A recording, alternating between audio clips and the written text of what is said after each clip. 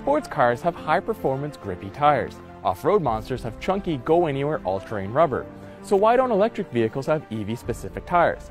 Well, that's exactly what Sailun has created with the new E-Range EV tire. But the question is, do electric vehicles need EV-specific tires?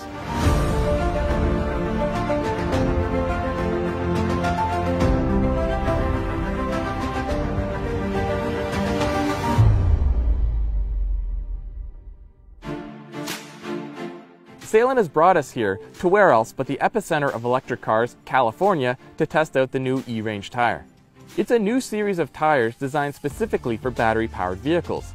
The E-Range features increased load-bearing capacity since most EVs are heavier than their similarly sized gasoline equivalents due to all that extra weight from the batteries. The sidewalls are reinforced to limit flex during hard cornering, yet Sailun claims the tires still offer great ride comfort. Using the brand's liquid phase mixing, the E-Range features a uniform compound throughout the tire. This helps with tread life as well as rolling resistance, and the brand claims it also shortens braking distance. The tread pattern is designed to help maintain traction even with load generated by EVs and their instant torque motors. Okay, now that we've covered how the tires are designed, time to see how they actually perform. As mentioned, we're in California outside of Los Angeles testing the new E-Range tires. We've spent two days driving up and down the Pacific Coast Highway and the surrounding hills. First thing I've noticed is these tires have a lot of grip for a tire that's designed specifically for low rolling resistance. If pushed hard, it will wash out as it's not performance rubber, but there is a lot of confidence when attacking the switchbacks in the canyons. And the best part is the ride doesn't suffer due to these stiff sidewalls. I find it quite nice being behind the wheel here and it's not punishing my kidneys over broken pavement and large potholes.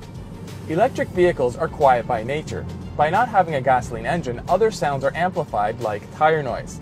After spending two days with these tires, I must say they are quite silent. On smooth pavement, there's hardly any sound coming from the tires, but on concrete, you do get a bit of that hum you notice on freeways. When it comes to vibrations, the tires are also quite good. There isn't so much vibration coming through the cabin that it's annoying, but at the same time, the tires aren't so squishy that it's isolating you completely from what's happening on the road surface. And now on to the biggest question and the one you've all been waiting for, efficiency. The Tesla Model 3 I'm driving is the rear-wheel drive model, and it's rated at an official efficiency by the EPA of 25 kilowatt hours per 100 miles driven. Sailun claims that the E-Range EV tire saves you about 7% in terms of efficiency. Now, it's really hard for me to fully conclude if that's true or not without doing a back-to-back drive between the E-Range tires and the standard Model 3 tires. But during my driving, I have noticed anywhere from 10% to 30% improved efficiency compared to what the official EPA numbers are.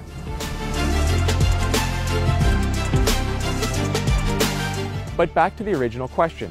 Does an electric vehicle need an EV-specific tire? The honest answer is no, it does not. But does a tire like the Sailun E-Range provide a more efficient and better overall driving experience? The answer is yes. Yes, it does.